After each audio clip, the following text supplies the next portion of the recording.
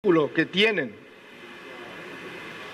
ciertos personajes de la política paraguaya que han llegado a ejercer la primera magistratura con asociaciones criminales dentro y fuera del país. Pero, desde el punto de vista institucional, reviste extrema gravedad la absoluta complicidad de las instituciones vinculadas al sistema de justicia paraguayo con estos hechos. Las denuncias han sido presentadas y han sido simplemente cajoneadas por el sistema de justicia paraguayo. Y por el contrario, se ha criminalizado y se ha perseguido a las víctimas de estos grupos criminales que han llegado a asesinar. En ese sentido, y si bien la reforma debe ser total, esta mesa se ratifica en que la señora fiscal general del Estado, Sandra Quiñones, no puede permanecer un minuto más en el cargo. Legisladores que formamos parte de la Cámara Acusadora.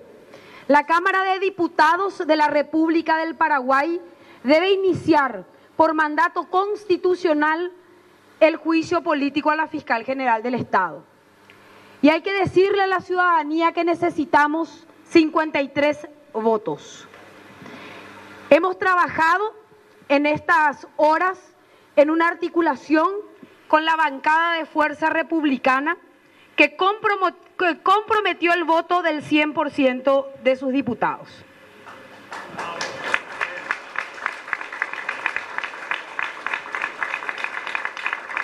Desde la multibancada que integramos partidos fraternos del llamado tercer espacio, entre ellos el Encuentro Nacional, el Partido Patria Querida, el Partido Hagamos y el Partido Independiente, estamos también trabajando en esa línea. Desde el Partido Liberal, como representante, le tenemos acá al diputado Edgar Acosta, y también el compromiso del presidente de la Cámara de Diputados, Carlos María López. Y estamos trabajando para que todas las bancadas del Partido Liberal entiendan lo importante que es su compromiso. Quiero finalmente decir que ningún diputado y senador que se postule a cargos plurinominales por la concertación nacional puede ingresar a nuestras listas si no vota a favor del juicio político de la fiscal general del Estado. Es importante ver que aquí la concertación unida a la gente decente tiene claramente una posición que es la que ha sido expresado recientemente.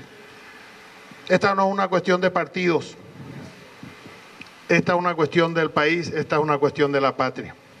Por eso yo solamente decir que acompañamos la decisión de iniciar, en primer lugar, de plantear la renuncia inmediata de Sandra Quiñones ante los acontecimientos de público conocimiento del día de la fecha, que pone en evidencia la complicidad del Ministerio Público y de Sandra Quiñones con el crimen organizado. Consecuentemente, Consecuentemente corresponde la renuncia inmediata de no producirse en la fecha de hoy. Mañana se presenta, es correcto, el libelo acusatorio para iniciar el trámite de destitución en el Congreso Nacional. Y en ese sentido decir, porque ya me preguntaron cómo van a votar un partido, otro partido, y en realidad hay solamente dos partidos los que van a votar el enjuiciamiento político. Los parlamentarios que están con la patria y los parlamentarios que están con la mafia. No hay otra cuestión. Los que voten por Sandra Quiñones son aquellos que reciben un salario y están financiados por el crimen organizado.